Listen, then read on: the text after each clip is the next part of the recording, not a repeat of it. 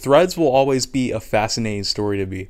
How a company like Meta can have all this money, all of this research, know exactly what to make, and still mess it up will never cease to amaze me. The day this video was supposed to come out, Threads turned one year old, but I genuinely don't think anyone knew or cared. Why? Because this app died in less than a month. So I decided that even though this app is on life support, let's go back to it a year after everyone left and see how it's really doing. And right off the bat, I was surprised. Threads is number 2 on the App Store, and for a dead app, that is pretty damn good. I don't know if the App Store charts are worldwide or just based on the country you're in, but no matter what, it's beating TikTok and Instagram itself, so I'm already feeling a little bit more confident that this thing might not be dead. Before I downloaded it, I made a list of three things I wanted to see with this app. Number one, is it active? Now obviously it is, but what I mean by this is, is there a community on the app and how tight is that community? If you use Twitter, you know that things get referenced over there all the time and you're kind of just expected to know what the reference is. It's kind of like everyone's in on the joke over there. Second thing I wanted to see was is the content on threads any good? That's another basic one, but a platform does live or die based off the quality of its posts. And then lastly, I wanted to see if threads had any features or things that could distinguish it from Twitter or even had features that it did better than Twitter. In my opinion, this is the biggest thing on here because when Threads launched originally, despite Twitter kind of being in a shitty place back then, they still fought back by adding features that would change the shape of the site. The biggest ones being monetization and the For You page. Both features that kept people from leaving Twitter and moving to Threads. So with all that in mind, I went ahead and downloaded the app and threw my burner account on it. And immediately, I had a lot of issues with it. I hate the way Threads is laid out. I'm gonna go on a really nerdy user interface tangent for a minute, but let's just look at Instagram real quick. Its user interface by modern standards is pretty simple. The main content, pictures, is front and center, very visible to the user, with everything else accessible by either swiping over or tapping at the top or bottom.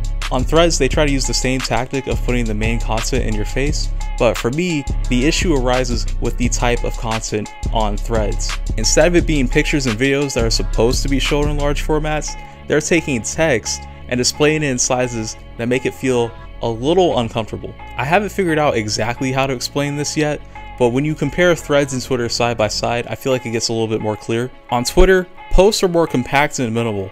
Everything on there is a lot more snug, and the way they do it keeps posts from feeling forced or shoved together, if any of that made sense. A really good example to show is whenever someone is quoting a tweet that has a picture in it, you will still be able to see the post that is above that one. When you go to threads though, all that space on screen is taken up by one post with media and then the post on top of that one. So to simplify, on Twitter, you can see three posts in one frame, and on threads, just two. I know that was long-winded, I know it really wasn't necessary, but the graphic designer part of my brain just hates shit like this. It feels like I'm seeing too much and not enough at the same time. It just really reminds me of Windows 8, and that's all I really need to say about that. Another issue I had was the way the algorithm on Threads worked. Now in their defense, the account I used on Threads isn't my main Instagram account, and the reason why I used a burner instead of my main account is because Instagram tells everyone and their mother that you've made a Threads account. And since this app never really popped off, having that notification in somebody's account is kind of like having a kick me sign on your back. So yeah, what I'm getting at here is that my Threads algorithm only has whatever the hell I liked from my burner Instagram account on it.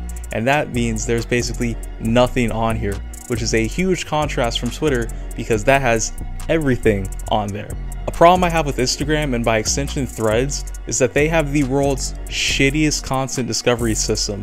On Instagram, that doesn't really matter because most of the content you're seeing is from people you know, but on Threads and Twitter, that matters a lot.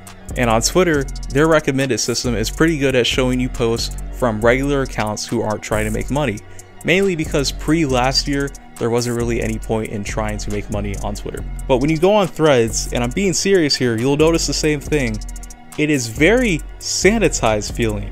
Definitely in comparison to Twitter, where you know you can find a video of people fighting like two seconds after you make an account. Once again, that was all over the place and long-winded, but to put it in the simplest terms possible, the Threads algorithm is a shittier, less active version of the Instagram Explore page. It's a lot of stolen memes and brand accounts, making it very hard to find real people who you know aren't trying to make money off views. And believe it or not, somehow there is still one more issue I had. Keep in mind, this was all in the span of like five minutes of me using the app. The trending tab kinda just sucks ass. Instead of being a page of popular posts or topics, it's more like a page of popular news shit, at least from what I saw. Like sure, news topics may be more important than random internet stuff, but who's really on here to read news stories? It also only shows five things at a time, which once again, very weird. I have gripes with Twitter's trending page and how it works,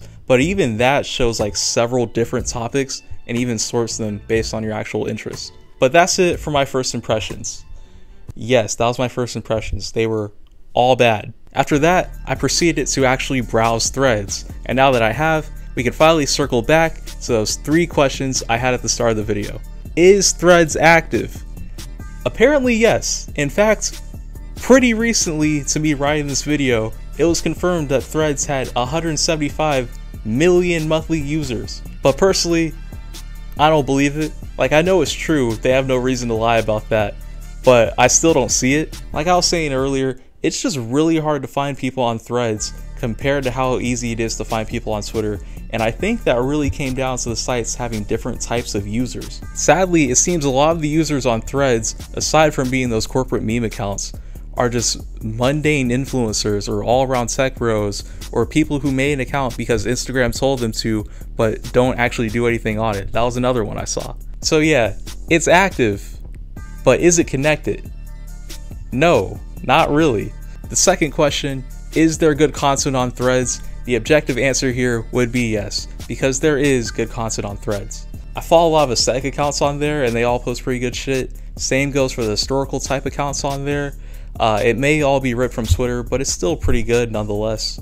So on the surface, Threads is pretty solid, but actually diving into it, you start to see the effects of what I was saying about their user base. Because Threads doesn't have a strong community, they don't have similar posts to what you'll see on Twitter a lot.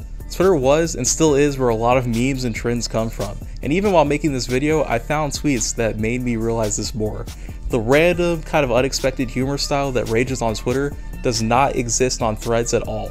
And if you use Twitter, no matter what side or part of it you're on, you know that is essentially the life of the platform. So is the content on threads that good? No, not really. You can find all this on Instagram or on Twitter. In fact, a lot of what I saw on threads was just posts from Twitter. It's basically a hub for cross posting. But hey, all of that could be excused if they successfully tackled our last question. Does Threads have any features to separate itself from Twitter?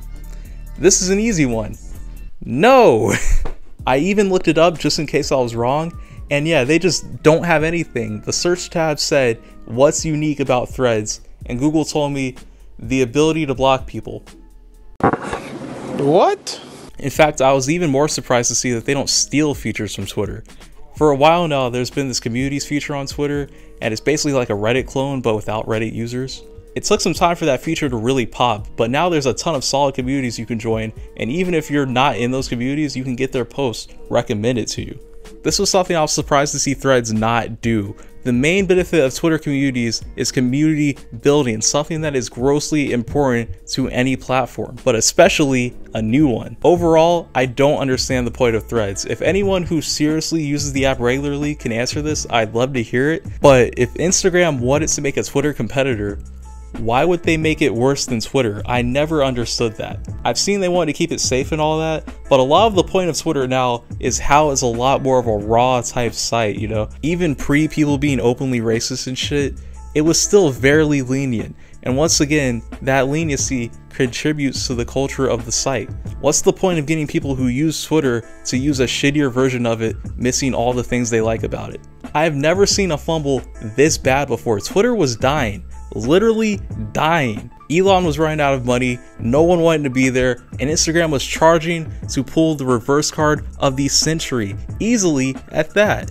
And then it just didn't happen. I've seen some people appreciate the atmosphere of threads. They say its lack of toxicity makes it more fun and enjoyable. But to me, all that sounds like is, yeah, I live in a ghost town. It's really fun. Like, yeah, walking around a dead mall, for example, it can be fun, it can be relaxing, but at the end of the day, it's a dead mall. It's failing at its purpose, and you can say the same thing for threads. In the end, I think I've said everything I really needed to say.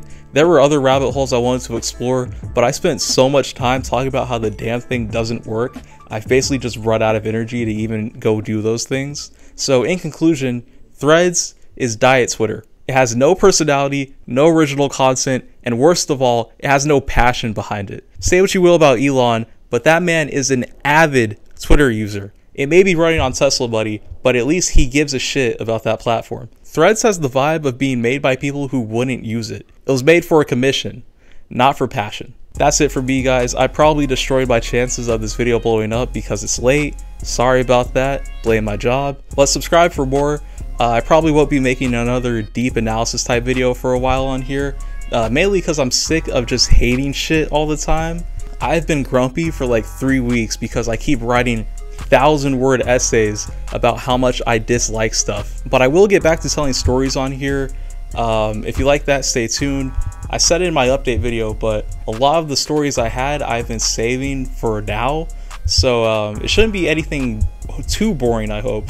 Uh, at worst, it'll just be a story of me being kind of dumb. But for now, that's it. See you guys.